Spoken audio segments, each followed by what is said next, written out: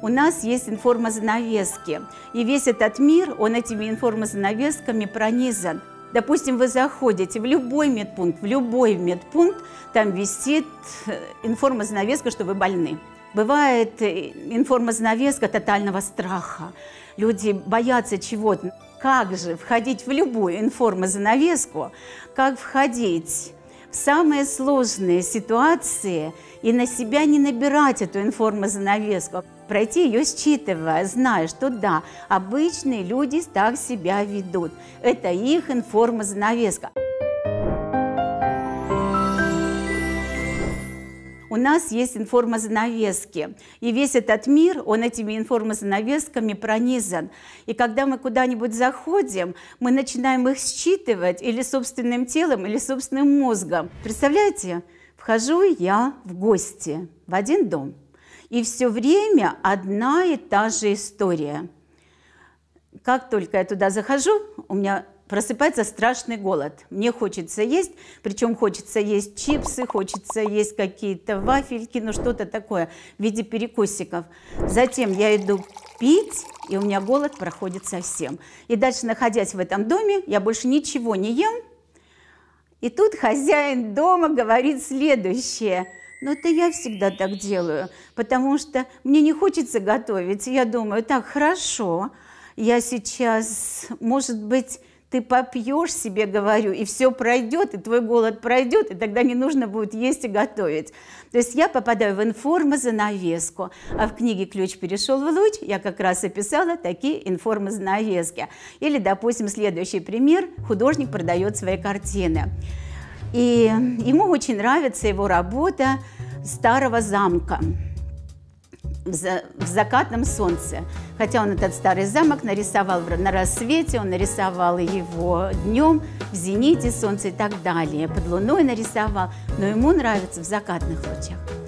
Он настолько эту информозанавеску повесил, что все покупатели подходят и просят у него только эту работу. Остальные работы их вообще не интересуют.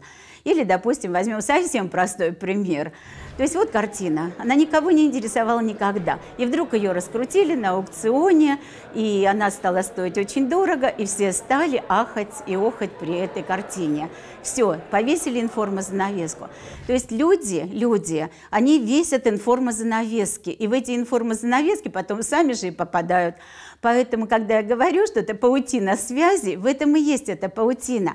А вам нужно научиться, как пройти через информозанавеску. Да, вы ее отследили, да, вы ее прочитали, но вы прошли. Потому что таких информозанавесок развешено очень много. Допустим, вы заходите в любой медпункт, в любой медпункт, там висит э, информозанавеска, что вы больны. Потому что иначе зачем бы вы сюда пришли? Если вы сюда пришли, значит, по определению вы больны. И вас только надо куда-нибудь распределить по специалистам. Поэтому в эту информозанавеску можно потом завернуться и реально себя ощутить больным и куда-то там пойти. Но иногда же вам хочется просто зайти в этот медпункт, потому что, может быть, там кто-то работает или кто-то из своих близких находится. И, конечно, самому завернуться в эту информозанавеску, что я болен, совсем не хочется. Поэтому вот этому сегодня я вас и буду обучать.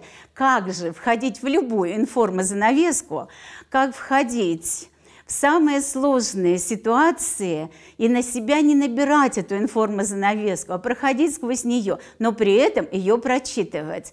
Бывает э, информозанавеска тотального страха. Люди боятся чего-то. Ну, вот сейчас был стоп-кадр. Страшно выходить на улицу, страшно платить штрафы, страшно, что тебя сейчас где-то там Ой, вот этот страх, только бы собачку какую-то иметь. Вот собачки не страшно, собачка не страшно, а без собачки страшно. Вы тут же побежали там собачку покупать, там что-то делать с этими собачками.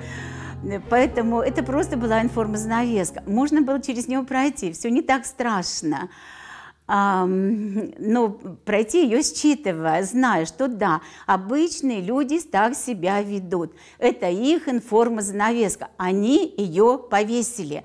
Они в ней жили традициями. Может быть, эта информозанавеска висела в их семье.